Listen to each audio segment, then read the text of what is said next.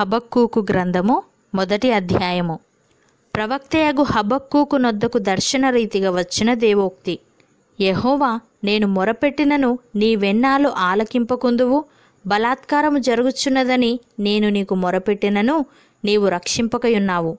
నన్నెందుకు దోషము చూడనిచ్చుచున్నావు? బాధ నీవేళ ఊరకయే చూచుచున్నావు. ఎక్కడ చూచినను నాశనమును బలాత్కారమును అగపడుచున్నవి? జగడమును కలహమును రేగుచున్నవి. అందువలన ధర్మశాస్త్రము నిరర్ధకమాయెను. న్యాయము ఎన్నడూను జరగకుండా మానిపోయెను. భక్తిహీనులు వచ్చి నీతిపరులను చుట్టుకొందురు. న్యాయము చెడిపోవచ్చున్నది. అన్యజనులలో జరుగునది చూడుడి ఆలోచించుడి కేవలము విస్మయమునందుడి. మీ దినములలో నేనొక కార్యము జరిగింతును. అలాగు జరుగునని ఒకడు మీకు తెలిపినను మీరతన్ని నమ్మకయుందురు. ఆలకించుడి.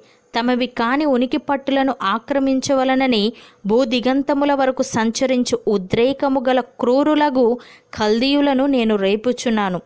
వారు ఘోరమైన భీకర జనముగా ఉన్నారు. వారు ప్రభుత్వమును విధులను తమ ఇచ్చ వచ్చినట్లు ఏర్పరచుకొందురు. వారి గుర్రములు చిరుత పులుల కంటే వేగముగా పరుగులెత్తును. రాత్రి ఎందు తిరుగులాడు తోడేళ్ళ కంటేను అవి చురుకైనవి. వారి రౌతులు దూరము నుండి వచ్చి తటాలున జొరబడుదురు.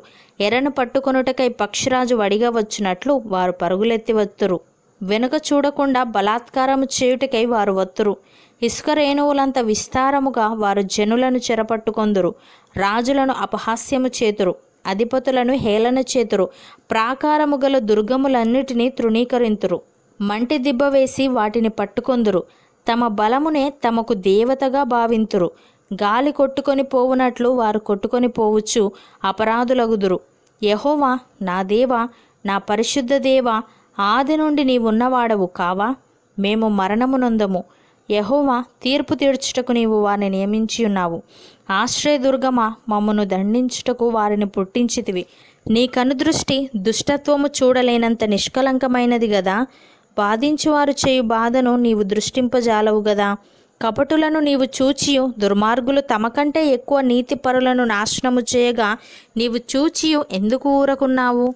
ఏలికలేని చేపలతోనూ ప్రాకు పురుగులతోనూ నీవు నరులను సమానులనుగా చేసితివి. వాడు గాలము వేసి మానవులనందరినీ గుచ్చి లాగియున్నాడు ఉరులు ఒగ్గి వగ్గి చిక్కించుకొనుచున్నాడు. వాడు తన వలతో వారిని కూర్చుకొని సంతోషపడి గంతులు వేయుచున్నాడు. కావున వల వలన మంచి భాగమును పుష్టినిచ్చు భోజనమును తనకు కలుగుచున్నవని వాడు తన వలకు బలులనర్పించుచున్నాడు. తన ఊరులకు ధూపము వేయుచున్నాడు. వాడు ఎల్లప్పుడూ తన వలలో నుండి దిమ్మరించుచుండవలెనా?